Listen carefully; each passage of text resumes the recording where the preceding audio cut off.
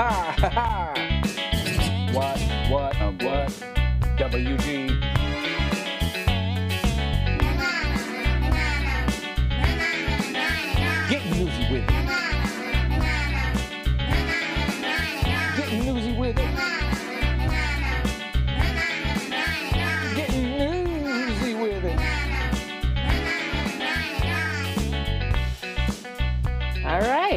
Wow, that was something. That's from a viewer. It is from a viewer, yes. Awesome. How about that? Yeah.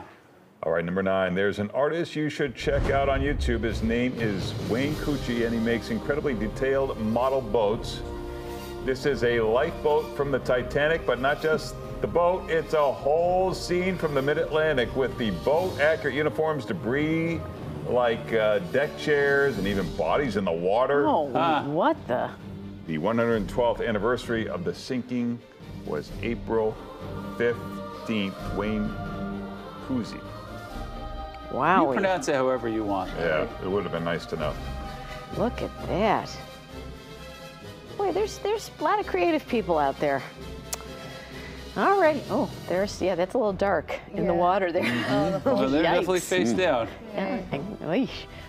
Should we do uh, number eight? Yeah, Yeah, okay. please. Uh, number eight. Who needs an SUV or a minivan when you've got one of these? It's the radio, I'm sorry, it's the Flyer Via from Radio Flyer. It's the little red wagon of family bikes. It has all the storage you need to haul all sorts of accessories, carry your kids, your stuff, your groceries, your pets. Plus, it's got real rear tail. Oh my gosh. Rear this tail lights. It's not my usually does. fault. I wasn't trained to read like this. Rear tail lights with turn signals, LED headlights, reflectors, and hydraulic brakes. this. All these accessories. You You're can have your interested kids in this? Well, look at you can have, when you're you should be interested in this. You could put your kids in that in those seats, or you could put storage in there. I know you're busy reading the script, but look at that little double seat. You think my kids are gonna sit tight back there? I don't know what your kids' problem are, but mine would have just sat there Mine like would little leap. angels. Mine would leap for the street. in that thing. Yeah. It's being marketed as a bike just for families, but at 2,100 Ooh. bucks, it's a little oh. pricey. Yikes. All right, number seven. Morgan played Cher's 1988-9 song just like Jesse James yesterday, and we noticed that Cher had her boyfriend in the video. If you don't remember, his name is Rob Camilletti. Back in 1986, Camilletti was working at a bagel shop in Queens, New York, which is why the tabloids gave him the oh, nickname oh, that's Bagel right. Boy. Now I remember this guy. when he met Cher during a night out with her friends on her 40th birthday. Camilletti was just 22. A year later, they moved in together, and he was her date for the 1988 Oscars when she won her Academy Award. Camilletti himself did some acting, but the paparazzi wouldn't leave him alone, and he had a hard time with all of it. Cher and Rob broke up in 1989, but Cher and Rob are still good friends. He's a pilot who flies celebrities in private jets, and Cher says they've even spent holidays with each other. no kidding. Go figure. Is that the guy with the bouffant hair? That was the Uh, Rob Bagel yeah, Boy the guy? big, yeah. Jeez.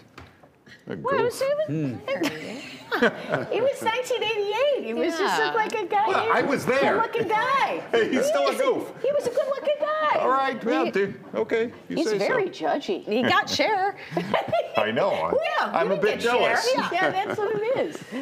All right, number six. If you're attractive, men are more likely to tell you the truth.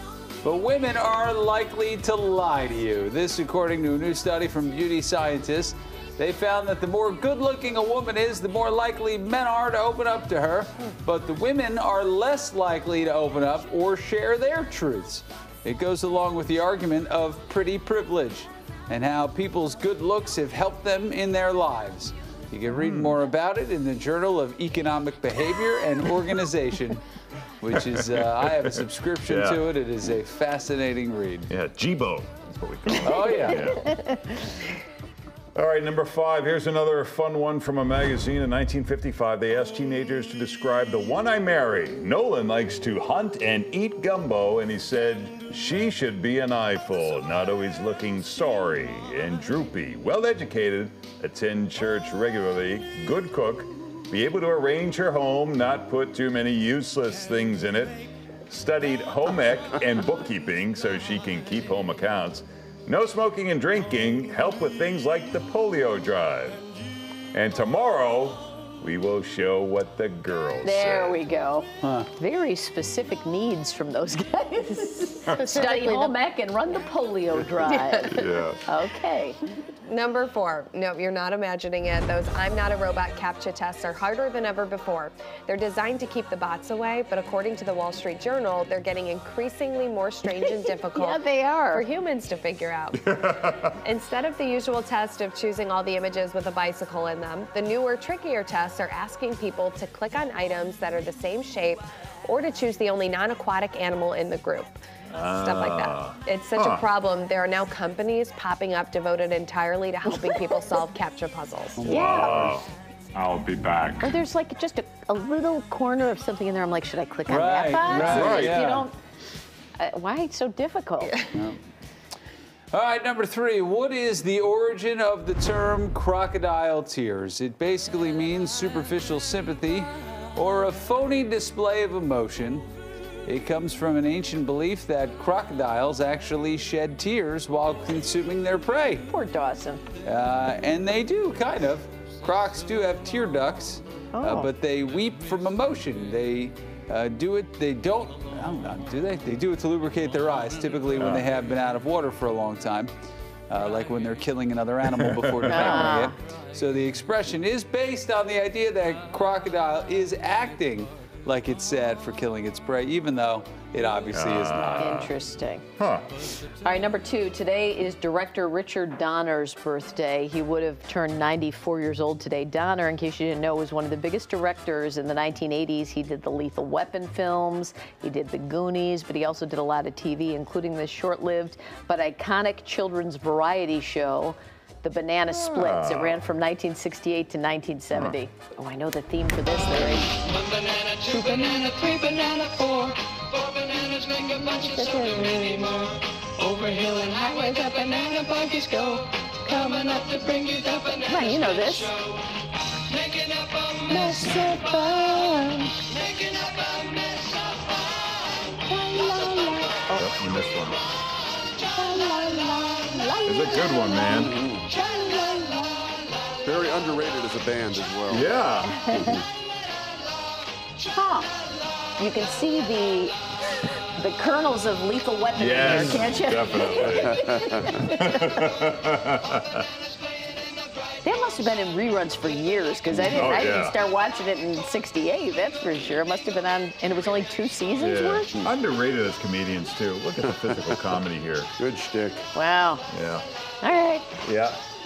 Oh, I should keep reading. The Banana Splits gained popularity because it ran in syndication through the 70s and Yeah. into the early 80s. That's why. Those reruns ran for so long, people don't realize how short-lived Yeah. the actual show was. Yeah. Same with Brady Bunch. That was only a couple. That was only like four years. Yeah, we only saw it in syndication. Yeah. Number one. Here's a great clip that's uh, kind of like a domino chain.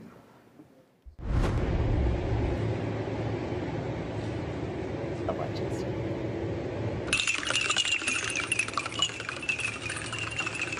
Wow, this is cool.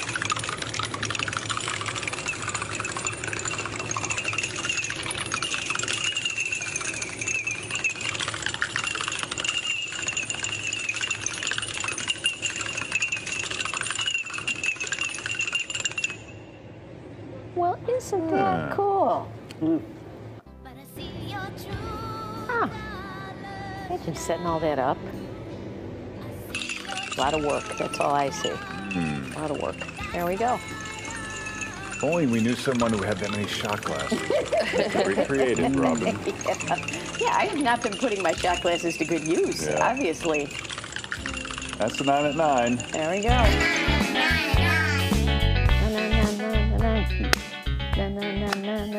Morgan. 48 today.